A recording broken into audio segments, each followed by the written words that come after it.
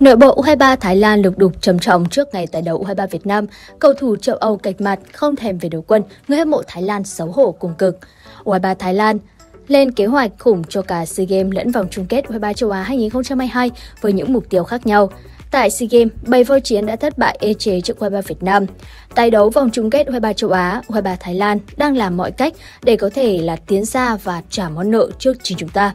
Tuy nhiên, những gì mà bà Madabang đang làm với đội bóng của bà chỉ là một mớ hỗn độn và có sự xung đột không cần thiết giữa những nhân vật quan trọng. Tối ngày 22 tháng 5, Cả nước đã vỡ hòa trong không khí vui sướng khi mà đội tuyển Việt Nam đã thắng trước U23 Thái Lan với tỷ số tối thiểu là 1-0. Nhưng lúc đó, nhiều người lại bức xúc trước cách hành xử được cho là thiếu chuyên nghiệp của đội bóng Thái Lan nếu như mà không muốn nói là rất láo.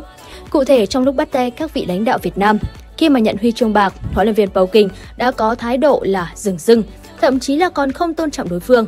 Ông vừa bắt tay vừa chống hông khi mà nhận huy chương. Đáng chú ý, vị huấn luyện viên trưởng của đội tuyển Thái Lan còn có hành động là ném thẻ tác nghiệp xuống sân thi đấu, khiến ai nấy đều bức xúc. Các cổ động viên đã phải thốt lên bằng những lời cay đắng. Huấn luyện viên Pau không phải là không biết ngoại giao mà vì anh ấy mang hai dòng máu thì chắc chắn anh ấy phải được giáo dục từ bố mẹ.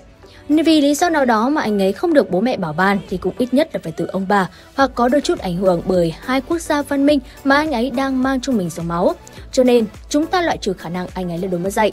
Anh ấy từng là cầu thủ và đang là huấn luyện viên kiểu này thì nhanh thôi, anh ấy sẽ cũng từng được cho là chuyên nghiệp thì anh ấy cũng đã hiểu thắng thua trong thể thao là chuyện bình thường nên ai đó nói câu ấy là quá nhục đến mức mất kiểm soát thì là một hành vi không phải. Không những thế, huấn luyện viên Bao Kinh đang làm rối tung của Liên đoàn bóng đá Thái Lan lên. manabang và FAT thì đang rất giao diết để mời các cầu thủ chơi bóng tại châu Âu về đầu quân cho U23 Thái Lan để họ có một quân số tốt nhất cho vòng chung kết U23 châu Á.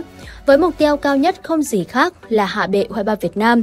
Tuy nhiên, giữa lúc nước sôi lửa bỏng như thế này, huấn viên Bao Kinh lại đổ thêm dầu vào lửa bằng những phát ngôn. Đội tuyển quốc gia Thái Lan đang thiếu vắng rất nhiều trụ cột. Hiện tại chúng tôi chưa có sự phục vụ của Chanatip hay là Sufachai Trader, Philip Roller và rất nhiều cầu thủ giỏi thì cũng chưa thể nào đầu quân được. Không những thế, nhiều đội bóng thì nhà người muộn nên có một số nhóm cầu thủ khác thì cũng không thể hội quân đúng lịch. Bởi vậy với tư cách là huấn luyện viên trưởng thì tôi buộc phải tìm những gương mặt khác để thay thế bổ sung. Những lời mà huấn luyện viên người Brazil nói lên không khác gì chửi thẳng vào mặt bà Maramba và Liên đoàn bóng đá Thái Lan khi mà họ cho rằng đã quá ích kỷ. Tuy nhiên, ông Poking ngay lập tức nhận về sự chửi bới từ cộng đồng mạng vì là không biết nhục. Một cổ động viên lên tiếng, thua Việt Nam nhục nhã ở SEA Games, còn không biết mình đang ở đâu à Mr. Poking. Ông Park Hang-seo giỏi hơn ông cả vạn lần chứ đâu phải là đầu tư hết trụ U23 đấy. Họ không gọi cầu thủ 23 nào lên đội tuyển quốc gia để có thành tích tốt nhất đấy. Chắc ông không hiểu vì ông không chỉ quan tâm tới bản thân chứ, có thể để ý đến sự tự tôn của dân tộc như ông Park làm với Việt Nam đâu. Bình luận này nhận được rất nhiều sự đồng tình của các cổ động viên. Hoàn toàn chính xác, Park Hang-seo rời U23 Việt Nam, nhưng vấn đề các cầu thủ tốt nhất ở lại của đội, chứ không phải là triệu tập lên đội tuyển quốc gia, cho thấy là ông tôn trọng bóng đá Việt Nam, chứ không phải là một tên làm thuê cho đội tuyển quốc gia Thái Lan. Một bình luận khác, thành công của Việt Nam và Park Hang-seo là đề cao tinh thần dân tộc lên đầu đấy ông Paul Kinh. Còn ông thì không, thật khổ cho Madame Bang vì đã xem lầm người. Xem xong trận đấu với U23 Việt Nam tại Mỹ Đình, tôi cảm thấy sốt người và tiếc thay cho madam Bang. Bà đã đổ rất nhiều tiền vào bóng đá nam trong 10 năm qua và hy vọng là nó sẽ không bay như chim. Rốt cuộc thì nó chỉ bay đến thắt lưng người ta, tiền bạc của bà ấy coi như đổ sông đổ biển. Theo người này, sẽ hữu ích hơn nếu mà madam Bang đầu tư vào bóng truyền. Những môn thể thao có thể là mang lại huy chương Olympic. Tại SEA Games 31, với tư cách là trưởng đoàn của Thái Lan, Madabang đã treo thưởng 5 triệu baht nếu U23 Thái Lan giành huy chương vàng. Ngoài ra, bà cũng có những phần thưởng khác trong hành trình của đội ở Việt Nam.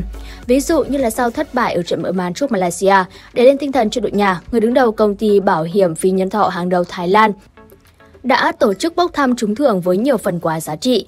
Vì có thời gian dài quản lý đội bóng đá nữ, Bà cũng đã hứa là thưởng 600.000 baht nếu đội nữ giành huy chương vàng. Và năm ngoái, Madame Bang khiến tất cả kinh ngạc khi mà huy động được 26 triệu baht để trao thưởng cho đội tuyển quốc gia Thái Lan sau chức vô địch AFF Cup 2020. Chủ đề trên thu hút rất nhiều bình luận trên diễn đàn. Nhiều người đồng ý rằng U23 Thái Lan đã chơi không tốt và bóng đá Thái Lan đang đánh mất vị trí số 1 của Đông Nam Á. Người chịu trách nhiệm thất bại này là huấn luyện viên Paul King và cũng là một phần của bà Madame Bang huấn luyện viên Alexander Bokin vốn cầm đội tuyển quốc gia Thái Lan. Tuy nhiên, với mục tiêu đưa 23 Thái Lan đạt huy chương vàng SEA Games thì ông đã chuyển qua dẫn dắt U23 Thái Lan thay cho huấn luyện viên Srimaka. Kết thúc trận đấu tại Việt Nam thì ông sẽ quay lại vị trí cũ và để lại U23 Thái Lan cho người đồng nghiệp. Nhiệm vụ tiếp theo của U23 Thái Lan là tham dự vòng chung kết U23 châu Á năm 2022 tại Uzbekistan. Ở đó, trách nhiệm dẫn đội thì sẽ thuộc về huấn luyện viên Srimaka cùng với các trợ lý, trưởng đoàn U23 Thái Lan mà Đàm Bằng nhấn mạnh. Tuy nhiên, Sri Maka thì cũng chẳng thể nào khiến cho người hâm mộ Thái Lan đã tin tưởng. Ông vốn là huấn luyện viên trưởng U23 Thái Lan tại Dubai Cup, nhưng mà với thành tích toàn thua sau 3 trận, ông thậm chí là chỉ thị từ Marabang đã phải nhường ghế cho Bầu Kinh. Giờ đây khi mà trở về vị trí của mình, Sri Maka không chỉ chạnh lòng mà còn rất e dè. Trả lời trước tờ SMM Sport, ông cho rằng dù đa số các cầu thủ U23 Thái Lan vừa thi đấu cùng nhau tại Việt Nam trở về, nhưng số cầu thủ còn lại từ nước ngoài và trong nước hầu hết vẫn chưa thi đấu cùng nhau. Thời gian sắp nối U23 Thái Lan hiện không ít, nên là tôi cần một trận đấu để kiểm tra. Tuy nhiên, còn một vấn đề khác sẽ rất đau đầu, đó là lựa chọn ra đội hình tối ưu từ thành phần tốt nhất hiện có. Cũng theo vị huấn luyện viên này, trận đấu với đội tuyển Hồng Kông sẽ là một bài kiểm tra để tôi chọn lại 23 cầu thủ tốt nhất đến Uzbekistan tham dự giải U23 châu Á và định hình ra một đội hình ưng ý nhất. Dù vậy, U23 Thái Lan vẫn còn nhiều cầu thủ đến tập trung sau ngày 27 tháng 5 vì họ còn bận thi đấu cho các câu lạc bộ. Hiện tại, mâu thuẫn giữa Poking, Madampang và Srimaka đang rất gay gắt khi mà không có lý tưởng chung để đưa bóng đá Thái Lan tiến lên. Những cái tối đáng quá lớn và khiến cho những nhân vật đứng đầu bóng đá nước này bằng mặt không bằng lòng. Hứng chịu trực tiếp điều đó chính là cầu thủ và người hâm mộ Thái Lan. Mới đây, Thanawat, ngôi sao sáng nhất của Thái Lan, cũng đang phải ấp úng khi trả lời về viễn cảnh về tham dự U23 châu Á.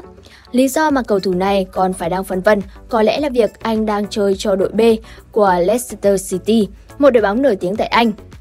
Khi mà giải đấu kết thúc thì cũng là lúc mà các câu lạc bộ châu Âu chuẩn bị cho các cuộc dù đấu. Thanawat có khả năng cao sẽ được tạo điều kiện ra sân thi đấu cho câu lạc bộ trong các trận giao hữu này. Chính vì thế, chưa chắc cầu thủ này sẽ về phục vụ cho U23 Thái Lan trong chiến dịch U23 châu Á sắp tới.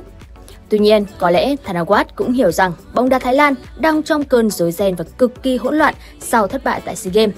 Một ngôi sao lớn như anh phải trở về thì cũng khó lòng mà tỏa sáng trong một bối cảnh như thế, nên là sẽ chọn một phương án an toàn hơn. Cảm ơn các bạn đã quan tâm theo dõi video ngày hôm nay và cũng đừng quên nhấn vào nút đăng ký kênh và ấn chuông thông báo ngay bên cạnh để không bỏ lỡ những bản tin thể thao nào của chúng tôi. Còn bây giờ, xin chào và hẹn gặp lại!